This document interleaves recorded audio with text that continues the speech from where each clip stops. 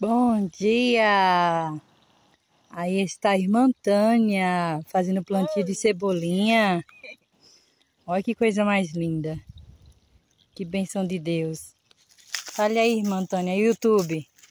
Pronto, pessoal, aí a nossa, nossa leira, né? De cebolinha que nós vamos plantar, ó.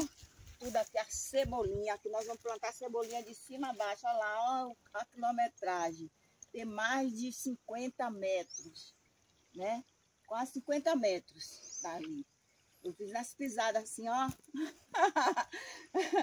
e aí, pessoal, já fui na roça dela. Olha, agora eu vou filmar ela.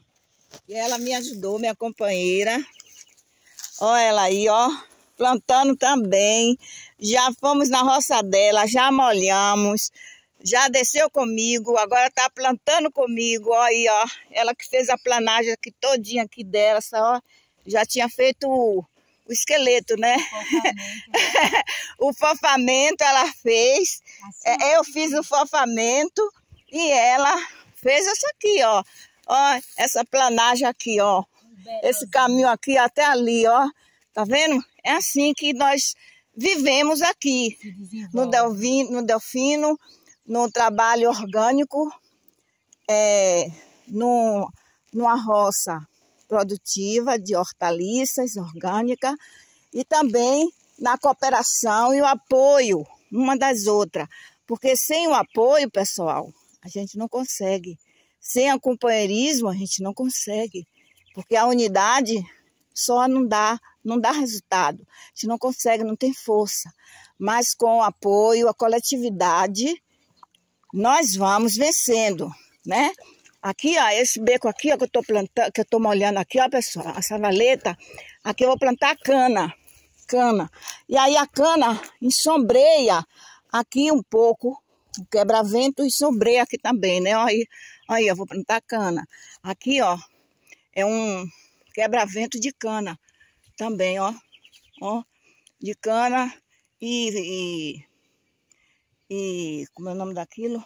Capim. Capim. Aí, ó. Eu vou plantando bananeira, plantando cana, um quebra-vento. Vou fazer outra aqui também no meio, ó, para plantar cana. Então é assim que a gente vive, convive aqui na terra, porque senão a gente não vence, né? Porque os obstáculos é grande e nós precisamos vencer. Então tá aí o nosso plantio. Depois nós vamos fazer para mostrar para vocês a plantação é, todinha aqui.